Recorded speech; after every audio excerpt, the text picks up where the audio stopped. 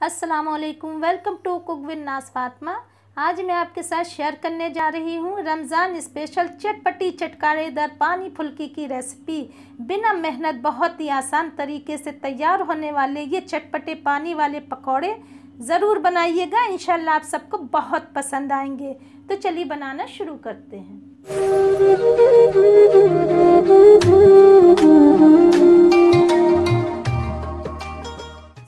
पहले पानी वाले पकौड़े का बैटर तैयार कर लेंगे। बैटर तैयार करने के लिए मैंने एक कप बेसन लिया है।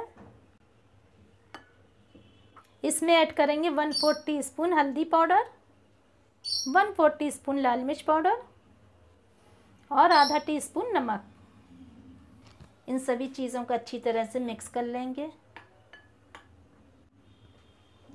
थोड़ा थोड़ा पानी डाल के इसका बैटर तैयार करेंगे। जितना आप बेसन ज़्यादा देर फेंटेंगे, उतनी ही पकौड़ी आपकी फूली फूली और सॉफ्ट बनेगी। पाँच छः मिनट हो गए, बेसन खूब अच्छी तरह से फेंट लिया है।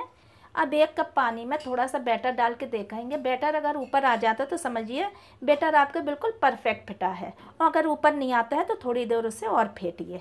अब इसे कवर करके दस मिनट के लिए रख देंगे, तब तक पानी की तैयारी कर लेते हैं। अब बनाएँगे पानी वाली फुल्की का चटकारेदार चटपटा पानी। इसके लिए बॉल में तीन कप पानी डालेंगे। अगर नापेंगे तो 700 सौ पानी है। अब इसमें ऐड करेंगे दो टेबल स्पून हरी वाली चटनी।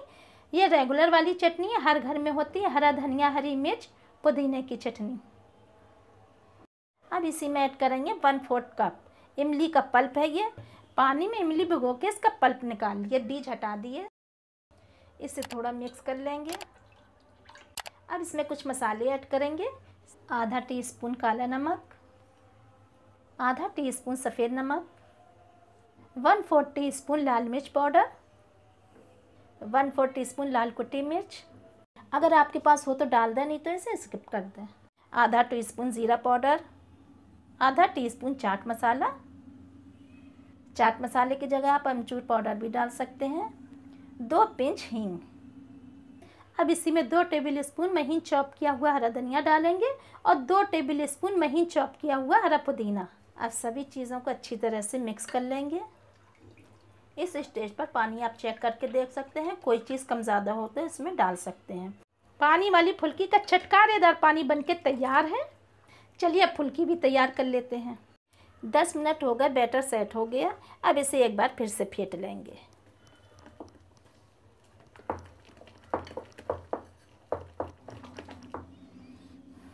तेल गरम होने के लिए रख दिया।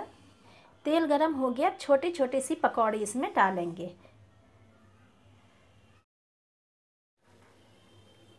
मीडियम फ्लेम पर चलाते हुए पिंक कलर आने तक फ्राई करेंगे। पकौड़ियाँ फ्राई हो गई, हम इन्हें निकाल लेंगे। एक बॉल में पानी ले लेंगे और फुल्कियाँ सिर्फ़ तीस सेकंड के लिए डिप करेंगे। अब थोड़ा सा इसका पानी ऐसे दबा दबा के एक प्लेट में रखते जाएँगे। अब पानी में पकौड़ियाँ ऐड कर देंगे। अब इसी में एक टेबल स्पून महीन चॉप की हुई प्याज डाल देंगे और कुछ अनियन रिंग्स डाल देंगे इसमें। फुल्कियाँ अच्छे से डिप कर लेंगे। चटपटी, चटकारेदार पानी पकौड़ी बनके तैयार हैं। आप इसे ऐसे ले सकते हैं या तो फ्रिज में ठंडा करके भी ले सकते हैं। एक बार आप मेरे तरीके से पानी वाली फुल्की ज़रूर बनाइएगा। इन आप सबको बहुत पसंद आएँगी। दुआओं में याद रखिएगा। मिलती हूँ फिर एक और नई रेसिपी के साथ। अल्लाह हाफिज़।